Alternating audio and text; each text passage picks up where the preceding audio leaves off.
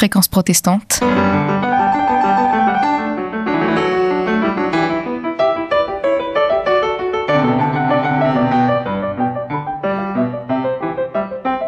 Philippe Bilger. Philippe Bilger les soumet à la question.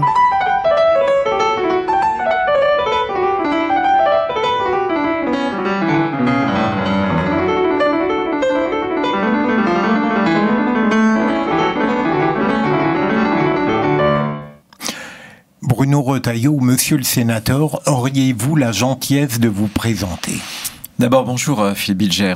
Euh, Bruno Retailleau, j'ai 59 ans, euh, je suis d'origine vendéenne, j'habite là où je suis né. Je suis né à l'hôpital comme on naissait à l'époque, mais je vis là où j'ai grandi, à Saint-Malo-du-Bois, dans une toute petite commune de, Vendée. Et, très vite, alors j'ai fait des études de sciences économiques. je me destinais d'ailleurs à, à, enseigner dans l'université. J'avais envie de, de, faire cette carrière universitaire. J'avais une passion pour les sciences économiques. Et puis, euh, j'avais tenté euh, le, concours de Sciences Po à Paris, que, que j'ai réussi. Et puis, euh, j'avais cette idée à l'époque d'intégrer le, le corps préfectoral. Et du coup, mon papa était maire, il était euh, négociant grain, une commune de moins de 1000 habitants, petite commune vendéenne, mais ce goût pour euh, le service euh, public m'avait sans doute pris très tôt.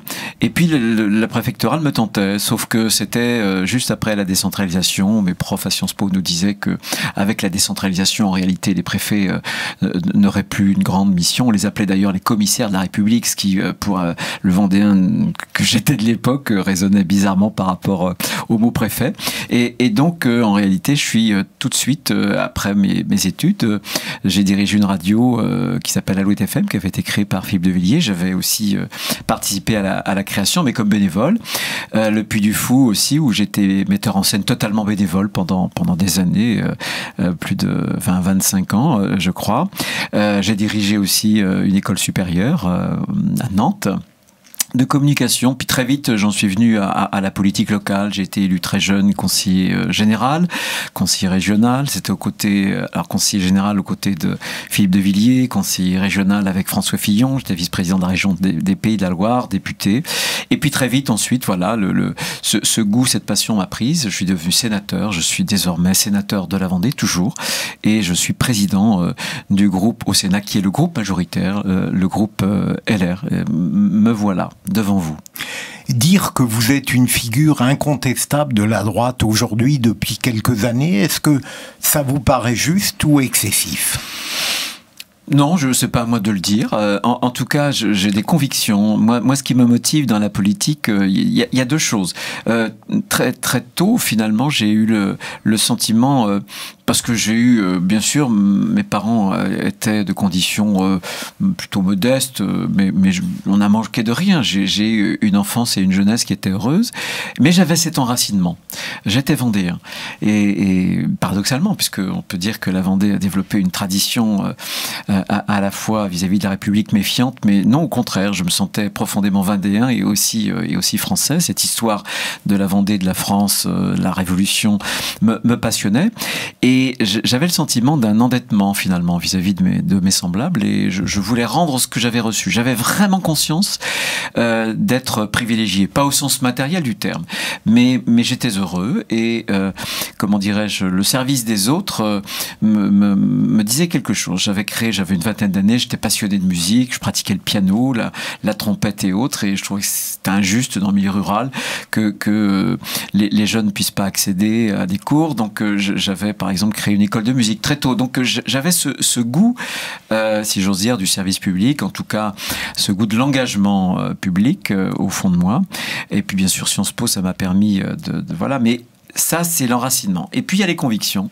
Et j'ai toujours considéré, notamment euh, en France, euh, au sein d'une droite euh, qui a souvent été en retrait dans le débat d'idées, parce qu'elle a subi une domination, une hégémonie idéologique, intellectuelle, culturelle et même politique de la gauche pendant des décennies et des décennies, ce qui fait qu'elle s'est retranchée finalement du débat des idées.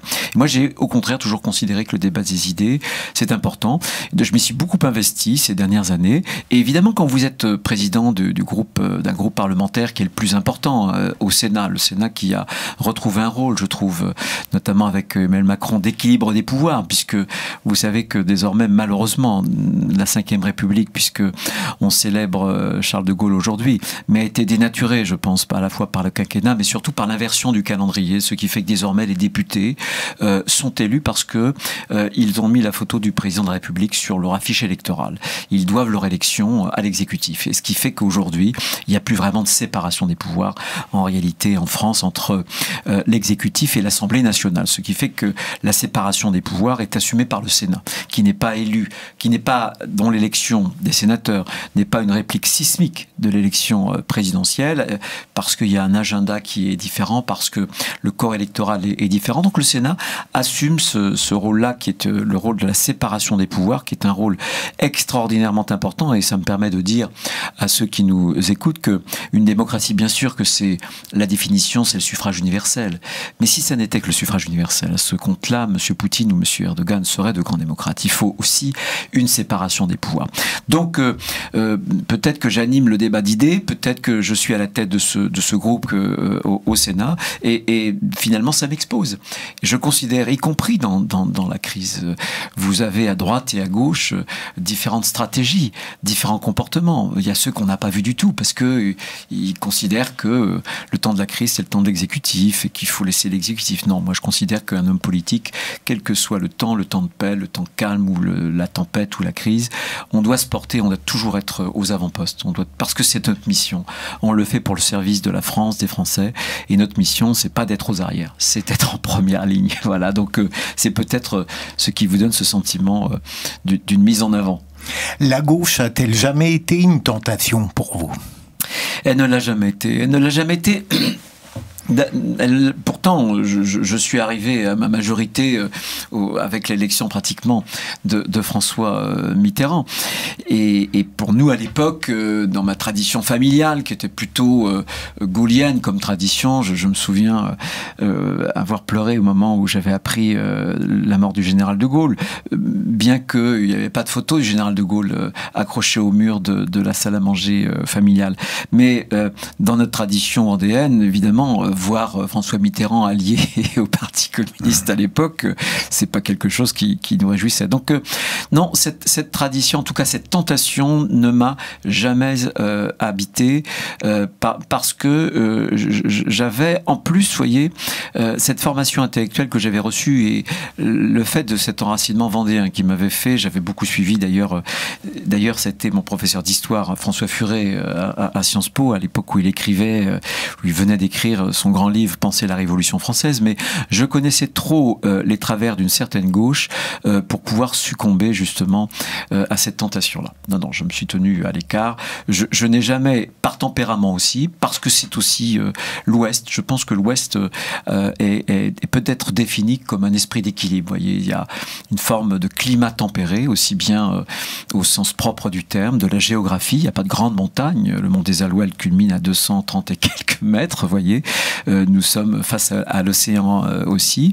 Mais il y, a, cet équilibre. Il y a cet équilibre dans tous les sens du terme, euh, à la fois géographique. Donc moi, je suis un boquin, donc un Vendéen de l'intérieur, mais qui ça, favorise sans doute cette idée des racines. Mais en même temps, quand on est Vendéen, c'est à la fois cet enracinement, cette profondeur dans l'enracinement, mais en même temps, nous sommes des gens de l'Ouest et des gens de l'Atlantique. Et, et l'esprit de clocher voisine aussi avec l'esprit du grand large. Vous voyez, des grands horizons. Voilà. Donc euh, cet équilibre-là m'a prémuni euh, de toute tentation, que ce soit à gauche ou vis-à-vis des extrêmes. Vous êtes-vous senti en totale complicité intellectuelle et politique, par exemple avec la campagne euh, que moi-même je trouvais techniquement extraordinaire de Nicolas Sarkozy en 2007. Ah ben elle nous a enthousiasmé cette campagne, mais je trouve qu'elle a enthousiasmé beaucoup de Français de droite. Bon, on sortait du euh, deuxième, second même devrais-je dire, premier septennat, ensuite le quinquennat de, Jacques Chirac. Et, on sortait de cette période où la, droite avait été quand même très engourdie sur le plan des convictions, sur le plan des idées. Et Nicolas Sarkozy a réveillé ses convictions. Je me souviens des discours sur 1968, etc. Je me souviens d'un certain nombre de, propos euh, euh, qui étaient des propos de, campagne. Malheureusement, trop de campagne d'ailleurs, c'est ce qui lui a été ensuite reproché. Mais cette, campagne-là avait suscité, je n'aime pas dire dans le peuple de droite, mais en tout cas dans l'électorat.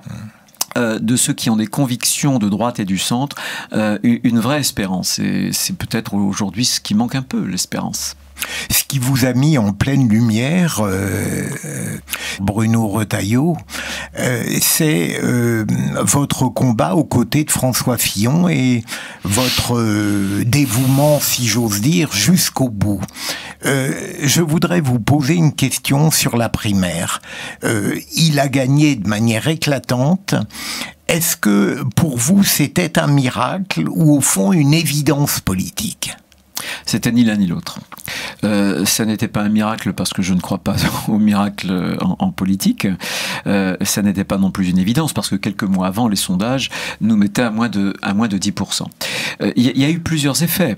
Je pense qu'il y a eu un effet, François Fillon, pour une grande part de l'électorat, était peut-être entre Nicolas Sarkozy et puis Alain Juppé, dans l'esprit d'un certain nombre de, Français qui, dont le cœur pencha à droite, une sorte de synthèse peut-être. Bon, il, représentait peut-être euh, une sorte, euh, un point d'équilibre euh, entre, entre les deux.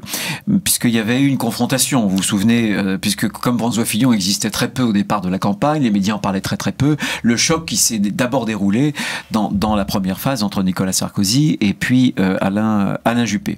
Non, mais je pense qu'il y a eu une vraie adhésion aussi, et c'est la deuxième explication, euh, du projet que François Fillon euh, portait euh, vis-à-vis de, l'électorat de droite. cette idée, d'ailleurs, il l'avait ébauchée lorsqu'il avait dit, vous vous souvenez, il était à l'époque Premier ministre et c'était en Corse quand il avait dû faire la déclaration sur la France qui est en faillite. Qu'est-ce qu'il dirait aujourd'hui avec les tombereaux de dettes, de déficit qui, qui s'entassent de plus en plus? Donc il y avait eu ce constat Fort de ce constat-là, euh, il avait développé un projet qui avait été conçu par la société civile. On l'a totalement oublié. C'est un projet, je, l'ai vu se constituer ce projet. Eh bien, c'est un projet, jamais un projet politique, n'a été autant modelé par ce qu'on appelle la société civile. Ça n'était pas du tout, et d'ailleurs, euh, le projet de son propre parti politique. C'est pour ça qu'il y a aussi eu un rejet. C'était, c'était un projet audacieux. C'était un projet qui portait cette idée de la liberté, qui portait une idée, une forme aussi de, de, souveraineté de la France, c'est-à-dire que euh, sur tous les plans, une France qui est endettée n'est pas une France souveraine, c'est-à-dire indépendante, libre de ses mouvements, puisque euh, elle doit euh, emprunter et faire attention chaque jour à ce que pensent les analystes financiers. Donc ça a été un, un projet enthousiasmant. Il a aussi bousculé pendant la campagne un certain nombre de, de convenance du politiquement correct. Et ça aussi, c'est ce qui a permis de réveiller l'électorat de, droite. Et moi, je me suis senti euh, dans une adhésion euh, profonde euh, au projet d'abord. Je pensais que c'était le bon projet pour la France. Je le pense toujours. Alors, il y a des choses qu'on n'a pas réussi sur la sécurité sociale, ce qui est normal dans un projet, bon, peu importe, aussi vaste qu'un projet présidentiel. Mais, mais globalement, je pense que c'est un, un projet qui pouvait remettre la France d'aplomb et qui pouvait faire en sorte que on arrête le décrochage de la France pour qu'on puisse reprendre le chemin d'une prospérité euh, française. Comment expliquez-vous euh, le désastre qui a suivi après cette victoire éclatante? Y a-t-il mis un peu du sien? Ou bah- voyez-vous d'autres ressorts peut-être plus fondamentaux? Non, mais les, sûrement les deux. On peut pas, on peut pas tout. Enfin, euh, un, échec, c'est toujours un échec de soi-même. On ne peut pas toujours rejeter la faute sur les autres. Et quand je dis de soi-même, je ne pense pas seulement à François Fillon. Je pense que euh, notre campagne euh, Autant la campagne, je pense, la primaire avait été euh, assez exaltante, avec effectivement cette idée à l'époque qu'on pensait que l'élection était imperdable. Et, c'est la raison sans doute aussi pour laquelle un certain nombre de, Françaises, de Français de, droite s'étaient dit, bon ben voilà, maintenant on a enfin, on doit gagner l'élection, on va quand même choisir le candidat qui correspond le plus à, nos convictions. C'était vraiment un, vote, celui de la primaire, de, conviction, un vote d'une profonde adhésion. Et puis, euh, il y a eu eu, après la primaire, il y a eu ce temps de latence entre les deux. Il a fallu un peu. C'est terrible. Une primaire, c'est assez épuisant. Il faut repartir tout de suite sur, sur la présidentielle. Non, puis il y a eu aussi quand même, malgré tout. Donc, vous me posez une question qui est la question comment peut-on expliquer l'échec? L'échec, il faut d'abord faire le point sur les fautes que nous avons nous-mêmes commises. Bon, voilà, c'est ce que je vous dis. Euh, et on a sur un certain nombre de choses, par exemple, je pense à la sécurité sociale, au tout début d'ailleurs euh, du mois de janvier 2017, euh, on n'a pas su expliquer le projet et je pense que le projet en plus n'était pas suffisamment abouti de ce point de vue-là. C'était sans doute la partie du projet qui, qui, était sans doute la plus, la plus faible. Et puis après, il y a eu quand même des événements extraordinaires. Qu'il ait commis des fautes, il l'a il a, il a reconnu d'ailleurs il l'a solennellement reconnu. Mais alors, euh, et, alors, ça rentre en résonance avec euh, les propos tout récents devant la commission d'enquête euh, sur l'indépendance du pouvoir, normalement dit d'autorité judiciaire, mais l'intitulé de la commission d'enquête, c'est le pouvoir judiciaire à l'Assemblée nationale de Madame Eliane Oulette, qui à l'époque était euh, procureur national euh, financier, et, elle nous apprend qu'il y avait eu beaucoup, beaucoup de, pression. Alors certes, elle a changé d'avis. Il y a un an, elle, avait indiqué, fait une déclaration comme quoi elle n'avait pas subi de pression. Là, on apprend qu'il y a eu un certain nombre de pressions et qu'on lui demandait des notes, le parquet général, que la chancellerie, c'est la chancellerie vraisemblablement qui les avait, et on s'étonnait, nous, euh, d'un robinet ouvert en permanence. C'est-à-dire que la presse disposait des informations euh, presque quelques heures après que les, policiers aient fait leur, leur travail. Donc oui, il y a, eu malgré tout, euh, on peut le dire désormais, d'ailleurs, y compris des, journalistes du monde qui ont fait un, livre le reconnaissent, il, a malheureusement bénéficié, entre guillemets, d'un traitement tout à fait exceptionnel. Et, et, il y a eu une instrumentalisation, c'est clair, de, de, ces affaires-là, et notamment du judiciaire par le politique. À, qui euh, cela servait-il? Voilà, je, ne crois pas au hasard. Voilà, donc bon, écoutez, c'est une période douloureuse. Vous l'avez dit, euh, moi je suis fait comme ça. Euh, quand voilà, quand j'ai une mission, je tiens la ligne. je la tiens parce que je considérais que pour mon pays c'était le bon projet. Je considérais que j'étais effrayé par cette espèce d'injustice, cette espèce d'intrusion, de précipitation de la justice qui n'était du jamais vue. Enfin, vous êtes vous-même un grand magistrat. Pouvez-vous me dire, sous la Ve République, connaissez-vous vous-même une affaire euh, qui a été traitée de cette façon-là? Euh, Non, enfin en tout cas moi je, n'en connais pas. Donc euh, tout cela me choquait. et puis François est un ami, et donc c'est pas par vertu que je, le soutenais, mais je suis fait ma nature profonde et que euh, quand euh, il y a du gros temps, euh, l'éducation que j'ai reçue et ce que je suis fait que mon réflexe n'est pas de sauter en, dehors du navire, mais plutôt de, rester et au contraire de, de faire face. Et j'ai fait face. Comment voyez-vous alors cette conquête du pouvoir par Emmanuel Macron Avez-vous cru d'emblée à sa, à sa promesse de dépassement de la droite et de la gauche ou bien l'avez-vous très vite euh, encaserné dans une structure partisane? Non, j'ai tout de suite... Euh, non, non, il, il, n'a jamais trompé. Euh, et, l'homme que je vois aujourd'hui euh, s'exprimer devant les Français, mais surtout euh, agir ou plutôt ne pas agir, et, l'homme que j'avais, dont j'avais discerné la silhouette à la fois intellectuelle et, politique. ça a été effectivement un, coup fumant, hein, si j'ose dire. C'était pour lui quelque chose d'extraordinaire. Et évidemment, on n'est pas élu président de la République sans avoir des qualités. je suis pas le dernier, vous le savez, à le critiquer. Euh, pour de bonnes raisons, mais, mais, mais il, a des talents. Simplement, euh, j'ai très vite vu que ce, qu'il représentait était une évolution logique euh, de la gauche. Vous savez, la gauche, il y a eu une double conversion de la gauche dans les années notamment 90 et, et 2000, mais même avant, à partir de 83. Il y a une conversion à la mondialisation heureuse, au capitalisme financier. Il représentait, il avait travaillé dans une banque d'affaires, la banque Rothschild, et puis un individualisme forcené. La projection sociale de l'individualisme étant souvent le, communautarisme. La défense des minorités, la politique des minorités. En 2012, je me souviens de l'étude qu'avait fait Terra Nova pour dire à la gauche, écoutez, il n'y a plus d'électorat ouvrier, il n'y a plus d'électorat populaire, l'électorat que vous devez construire, la nouvelle majorité que la gauche doit construire doit s'appuyer sur les minorités On y est d'ailleurs. Et je me souviens du, pour illustrer mon propos, du discours de Marseille qui m'avait profondément choqué. Où devant des Français qui, comme beaucoup de Français, ont, des couleurs de peau différentes. Il s'était adressé à la salle en introduction en disant écoutez, je vois des Algériens, des Comoriens, etc. Eh ben non Eh ben non Eh non Quand on est devant une assemblée, on voit des Français, des citoyens français. Donc euh, je, je, le caractérisais comme l'acmé de l'évolution euh, d'une forme de gauche, c'est-à-dire d'un néolibéralisme qui incorpore des éléments euh, du libéralisme de, droite au sens économique et du gauchisme culturel, si j'ose dire.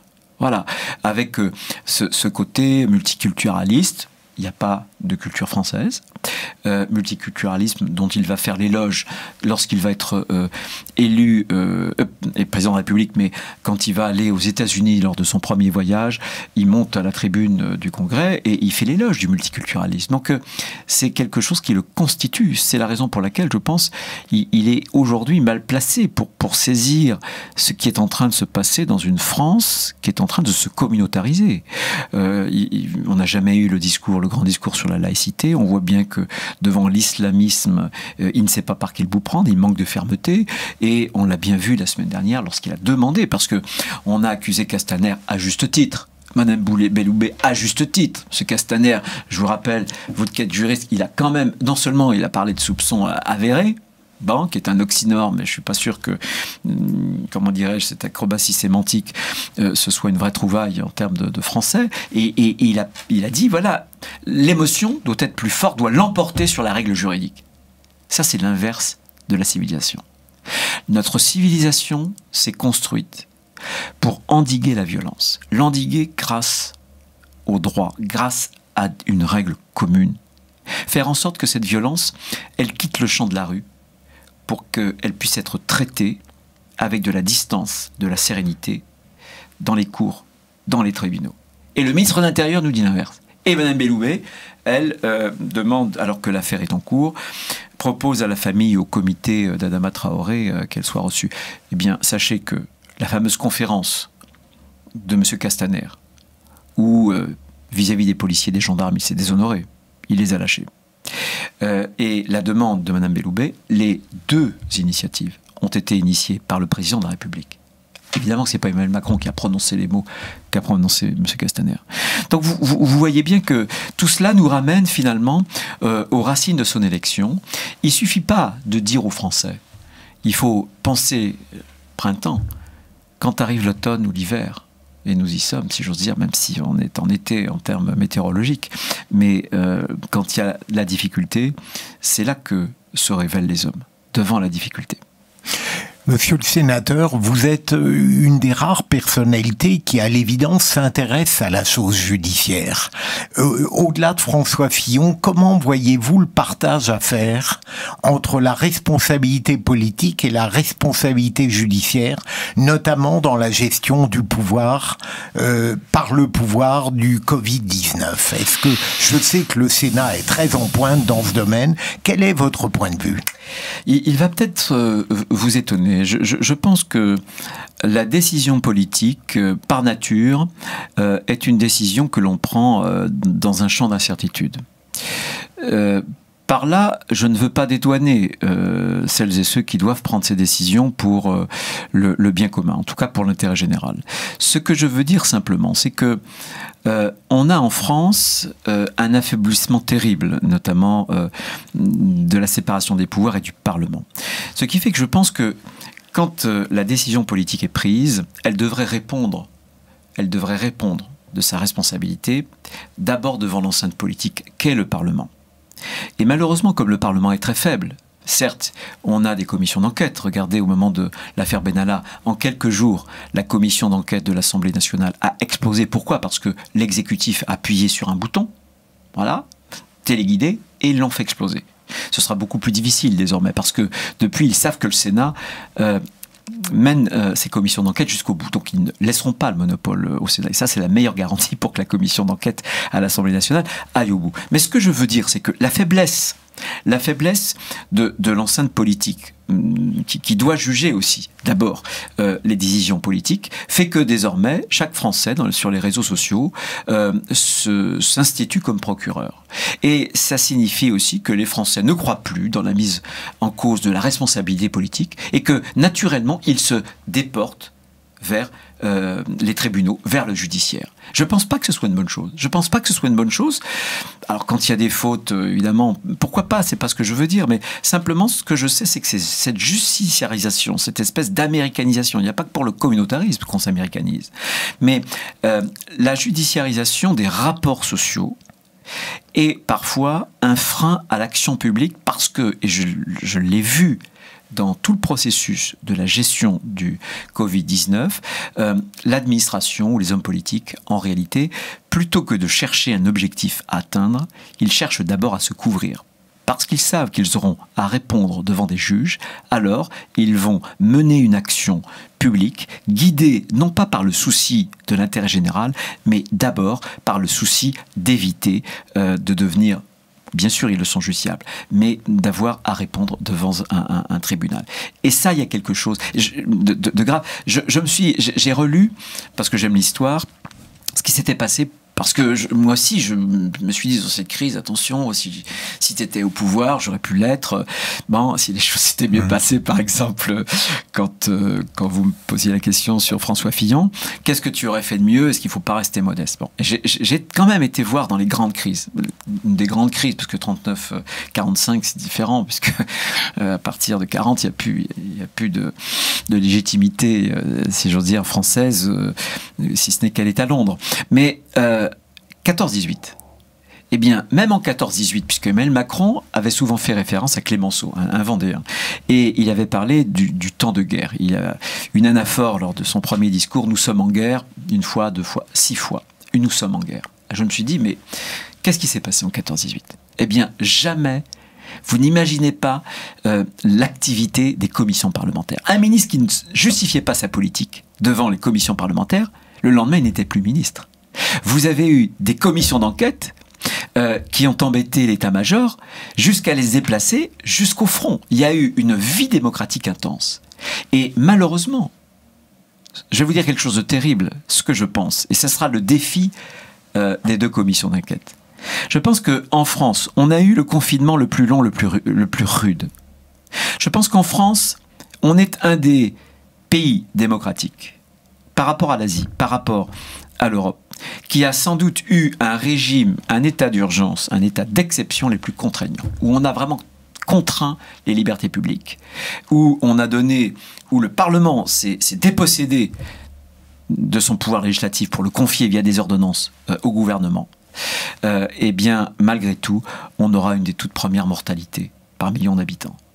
Et euh, on aura, le CD nous le disait la semaine dernière, une des récessions les plus violentes au monde. Donc voyez que on voit bien que la démocratie, ça n'est pas un obstacle pour la gestion d'une crise, mais que la démocratie est une ressource. Et j'ai le sentiment que la démocratie française a été, contrainte. Et je crois que la mise en cause, c'est ce qu'on appelle la reddition des comptes. La reddition des comptes, c'est pas au sens comptable. C'est que dans une démocratie, eh bien, les élus doivent rendre des comptes. Donc un gouvernement doit rendre des comptes, euh, notamment au peuple français, c'est-à-dire à la représentation nationale?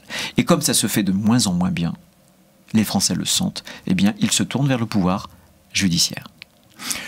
Beaucoup disent, monsieur le sénateur, que l'autorité de l'État n'a jamais été aussi bafouée que depuis, euh, au fond, la présidence d'Emmanuel Macron. Et en même temps, ils disent, mais au fond, on est désabusé parce que les adversaires ne feraient pas mieux. Qu'en pensez-vous? Bah Il faut lutter. Moi, j'essaie de lutter. Euh, chaque jour qui passe contre cette idée-là, et je le vois bien aujourd'hui, euh, euh, la force d'Emmanuel Macron, euh, c'est d'essayer de faire en sorte de, se perpétuer à lui-même à partir de 2022 face à Madame Le Pen. Mmh. Si ce n'est qu'aujourd'hui, au moment où je vous parle, je pense que ce duel-là nous conduira à la victoire de Madame Le Pen. Et, ce qui est terrible souvent, c'est que je, je sens que les Français, pour l'instant, n'identifient pas quelqu'un qui, dans ma famille politique, puisse incarner quelque chose de différent. Il y a euh, un effet qui est un effet trompeur d'Emmanuel Macron. Il prétend incarner une forme de droite finalement à travers son Premier ministre et à travers un certain nombre de ministres. Il prétend répondre à ce que Philippe Reynaud a appelé, euh, sous la Ve République, euh, une ligne d'un centrisme implicite. Moi, je pense que tout ça, c'est de la fadaise. Tout ça, ça ne sont que des mots. Je pense qu'aujourd'hui, jamais l'État de droit n'a été, euh, enfin en tout cas jamais l'autorité de l'État n'a été autant remise en cause. Et, le désordre dans la rue découle du désordre dans, dans, l'esprit.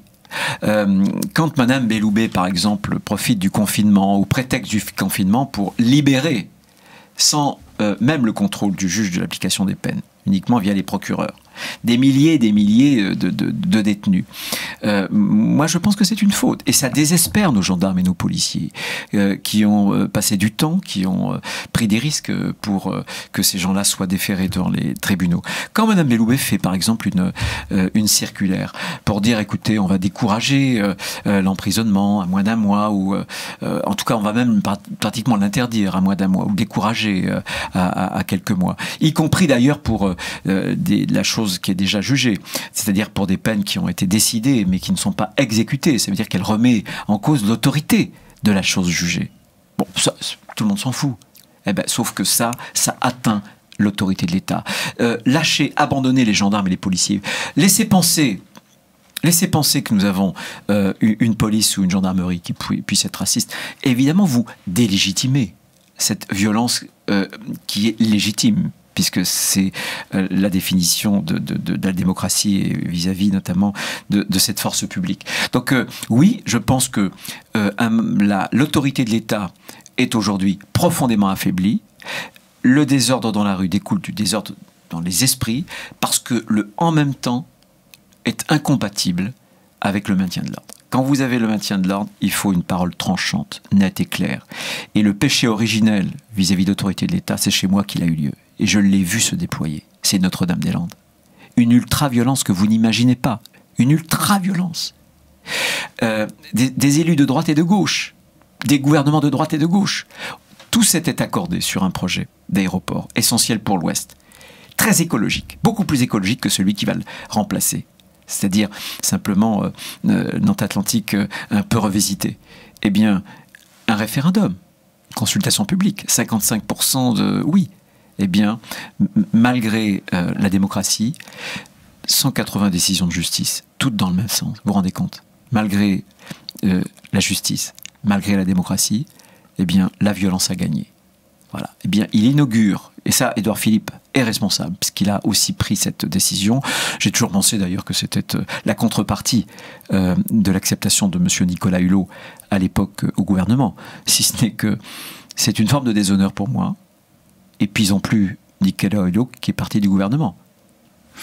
Vous avez toujours refusé de répondre, monsieur le sénateur, à une question sur votre futur présidentiel en disant que l'important c'était le projet.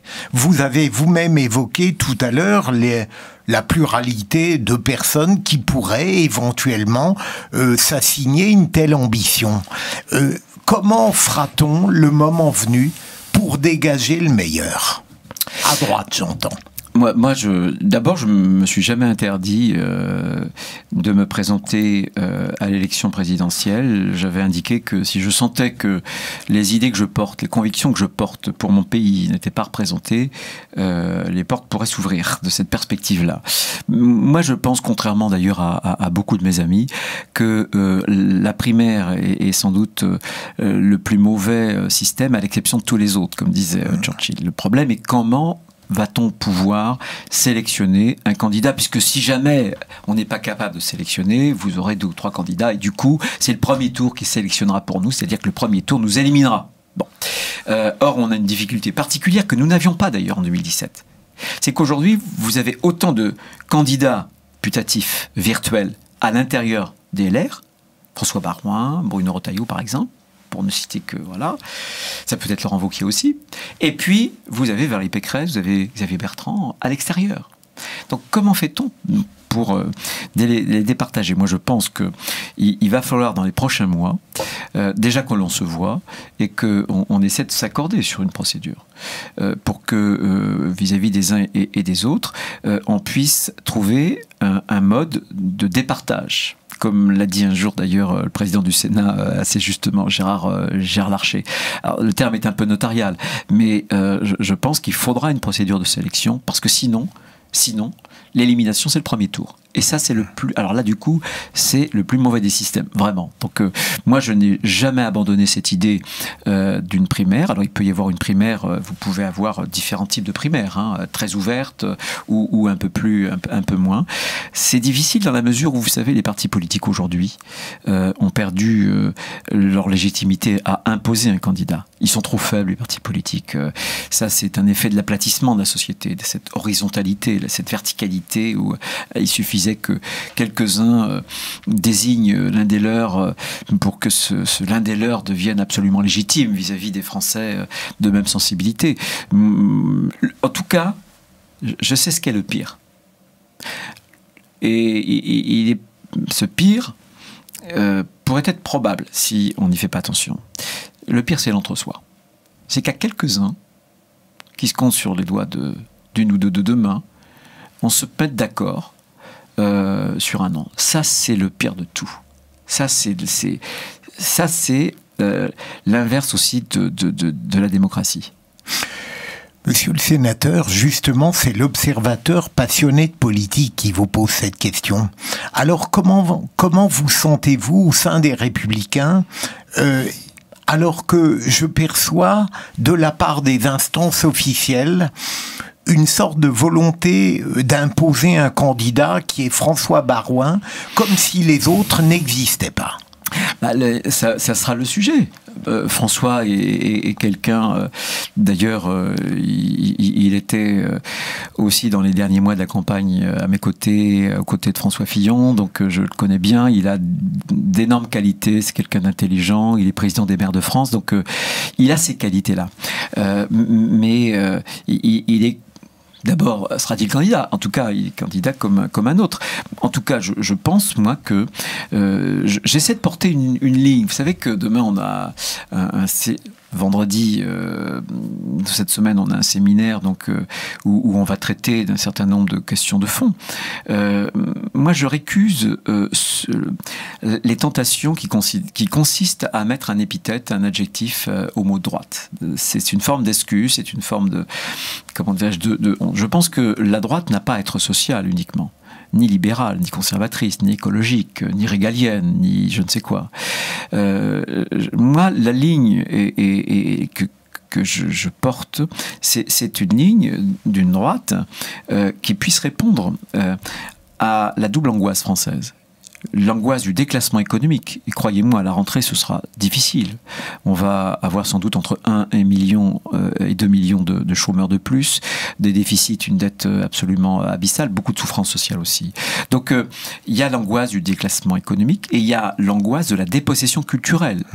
Euh, identitaire, avec les menées de l'islamisme, avec les menées du communautarisme, avec euh, euh, cette, nation qui se, délite, avec cette idée, parce qu'on est la forme la plus aboutie en France de l'État-nation. C'est d'ailleurs l'État qui a fait chez nous la nation. Et, malheureusement, ça c'est ce qui modèle notre être collectif. Et les deux sont attaqués. L'État a été dévalué par la bureaucratie, une bureaucratie qui travaille pour elle-même, voilà, qui s'est émancipé de la nation, et la nation qui se fracture entre un hyper-individualisme et le communautarisme. Donc euh, la source de l'angoisse française, elle est aussi là. Moi je pense, puisqu'on célèbre le général de Gaulle encore une fois, 18 juin, euh, c'est que le général de Gaulle, euh, il a été le plus libéraux des présidents de la République. Il a fait avec Jacques Rueff dans les années 58 le plan le plus libéral que jamais la France a connu et qui a assuré 20 ans de prospérité. Il a été régalien, évidemment, chacun s'en souviendra, euh, souverainiste avec cette idée d'indépendance et puis social avec la participation. Donc moi je pense que la droite n'a pas euh, à, comment dirais-je, à, ne parler que le langage de l'efficacité économique ou sociale, ou le langage d'une droite qui serait uniquement régalienne, etc. Je pense que on doit se déployer et prendre possession de l'ensemble de notre espace idéologique naturel, pas par rapport à nous, mais par rapport aux Français, parce que les Français ont des problèmes sociaux, économiques, parce que si vous voulez régler la question du financement du modèle social, il faut créer de la richesse. Et on a oublié. Vous savez, il y a des statuts à déboulonner. Moi, je suis pas du tout pour déboulonner les statuts historiques. Mais moi, j'aimerais qu'on déboulonne les statuts. Les statuts des tabous, l'argent facile, le rapport des élus à l'argent, c'est aujourd'hui je n'en reviens pas. Comme si l'argent il y avait plus de valeur. On emprunte, on emprunte, tout, le monde s'en fiche. C'est parce que c'est l'argent des autres, c'est l'argent des contribuables. En France, souvent, c'est pour un élu, c'est je dépense donc je suis.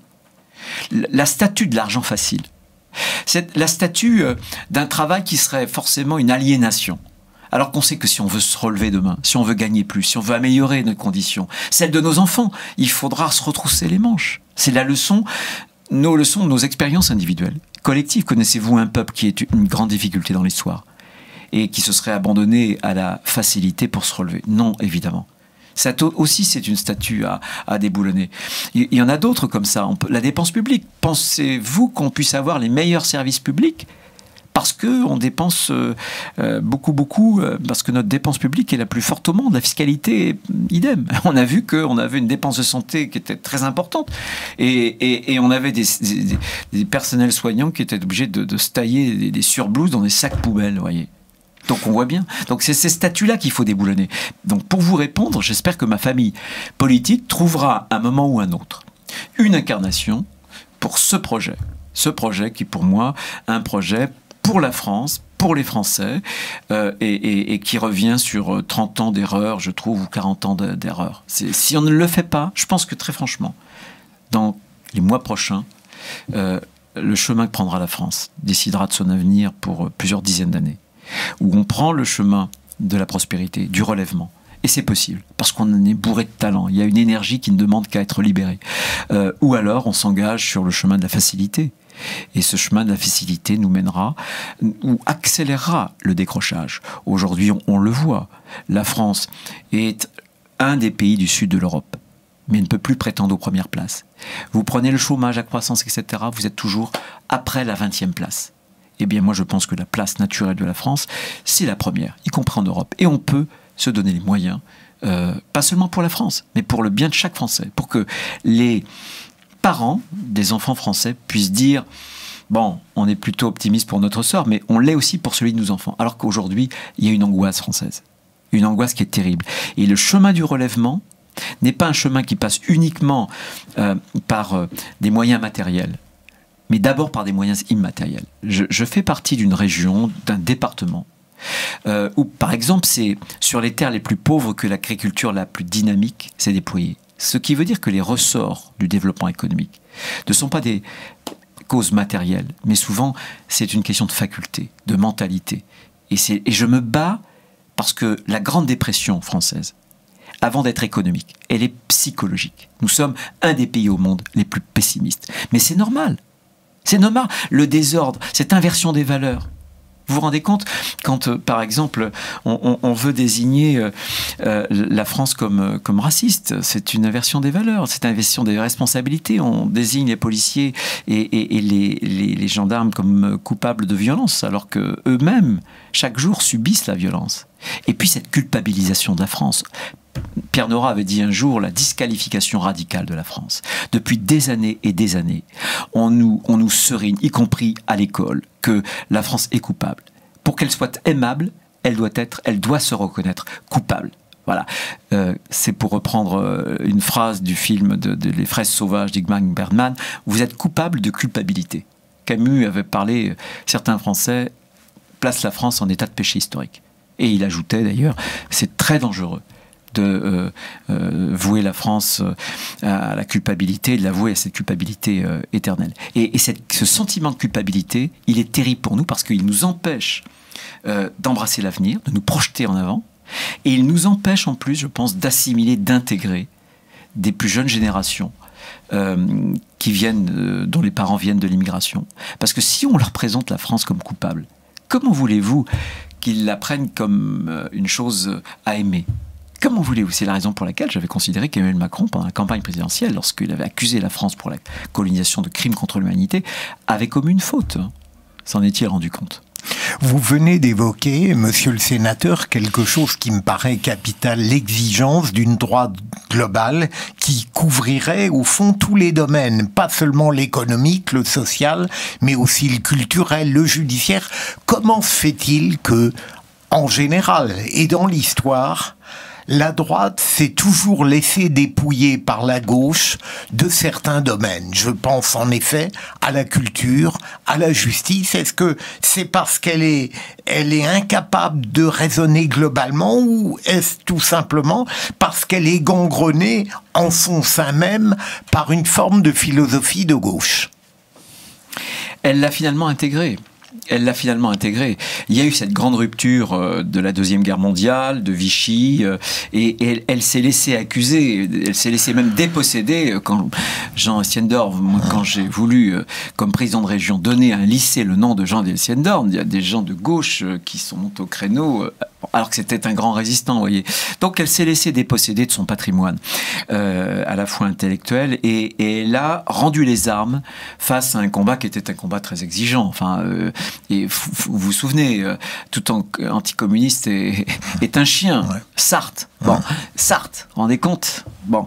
Donc euh, voilà, elle, a été prise dans ce combat, elle a perdu ce combat. Et du coup, elle s'est réfugiée dans une identité miroir. Qu'est-ce que j'appelle identité miroir? C'est-à-dire qu'elle s'est laissée définir par les autres. C'est-à-dire qu'elle a occupé l'espace que la gauche lui laissait.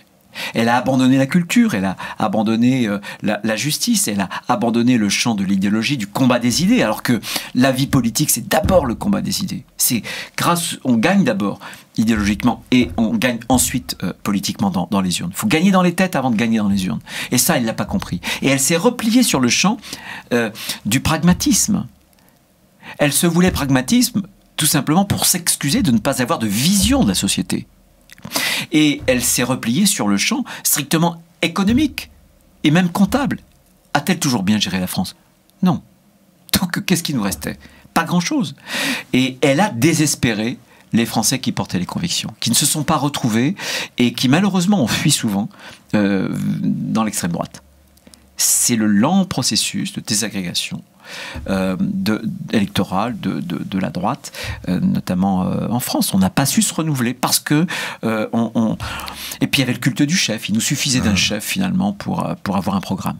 Bah bah non l'union entre une droite républicaine et une droite extrême, extrême est-elle complètement inconcevable pour vous et sur le plan politique et sur le plan intellectuel? Elle est, et je vais vous donner des exemples pour bien me, faire comprendre, euh, puisque même Marine Le Pen euh, essaie de capter l'héritage du général de Gaulle. Je vais vous donner deux exemples qui montrent bien euh, que finalement cette extrême droite a une caractéristique, ça n'est pas parfois de pointer des questions qui sont, qui sont justes. Mais c'est de ne pas y apporter de solution. C'est souvent d'y mettre des boucs émissaires en face de ces solutions. J'ai porté, moi, au Sénat, j'ai porté au Sénat deux, textes, l'un contre les Black Blocs parce que j'étais révulsé de, voir. Alors moi j'avais été euh, enseigné par ce qui s'était passé à Nantes avec euh, Notre-Dame-des-Landes. J'avais vu euh, des magistrats, des policiers et cette nouvelle violence vraiment extrême avec une sorte de guérilla urbaine très agile qui avait totalement débordé d'ailleurs notre doctrine de maintien de l'ordre, mais avec des masques et des gens qui se changeaient en même temps très très vite pour ne pas être reconnus. je, je, je voulait faire un délit le fait de venir dans une manifestation euh, en cagoule. Ils, se sont opposés, le, Rassemblement national. Lorsque plus tard, je, euh, pour euh, le, voile, les signes ostentatoires dans les sorties scolaires, puisqu'il y a la loi de 2004 qui considère qu'on doit sanctuariser l'espace scolaire républicain de tout signe extérieur religieux c'est une exigence de laïcité renforcée à l'école parce qu'il y a des consciences en formation. Dans notre tradition, c'est important.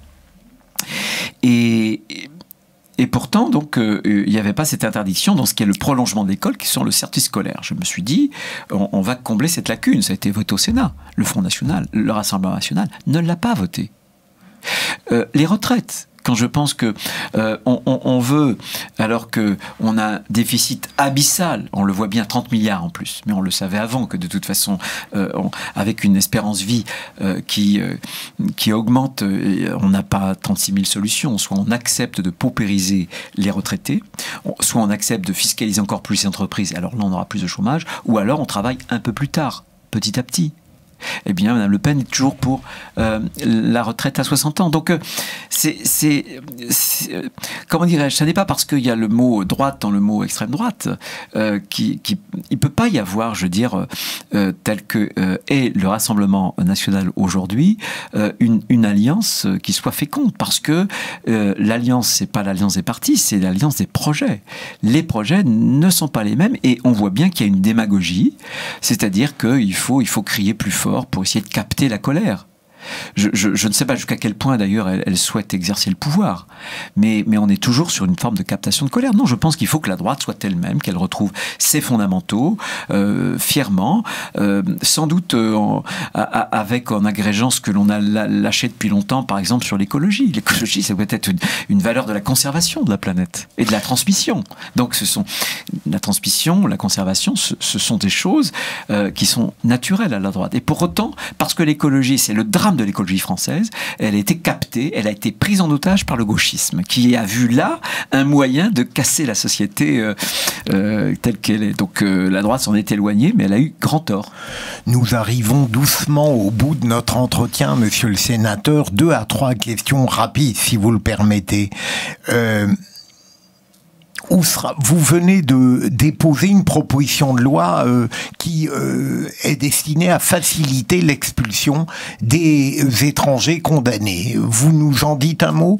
Des réfugiés, il y a une convention de 51 qui, dans son article 2, euh, est très très claire. Et vous savez que Emmanuel Macron a indiqué que les fameux Tchétchènes qui bénéficiaient de, l'asile, c'est-à-dire de statut de, de, réfugiés, seraient expulsés. Mais en réalité, vous savez parfaitement que pour les expulser, il faut avoir conspiré contre l'État, contre la sûreté de l'État donc c'est un acte de terrorisme, ou avoir écopé d'une euh, peine de, disons, ferme de prison. Vous, connaissez le quantum des peines, donc voilà. Donc je crois qu'il faut revoir tout cela. Et il y a, un principe qui est simple. La France est généreuse. C'est le pays le plus généreux d'Europe en matière d'accueil. Ce qui pose des problèmes d'ailleurs. Mmh. Bon, eh ben, quand vous accueillez des gens, vous leur donnez le droit d'asile, vous leur donnez des facilités. Les contribuables français euh, paient un certain nombre de, services sociaux ou autres vis-à-vis de ces personnes, la moindre des choses, c'est qu'ils respectent la loi française. S'ils ne la respectent pas, c'est retour euh, à la case départ.